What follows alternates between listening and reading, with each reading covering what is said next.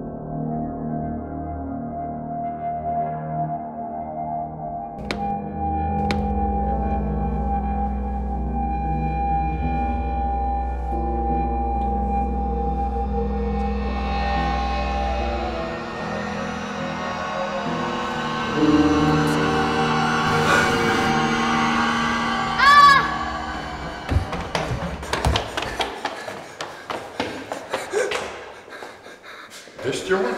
Een spook. Een spook. Het spook uit de Zandstraat. Ik heb dat jaren, jaren geleden getekend. En daar leeft hij nog.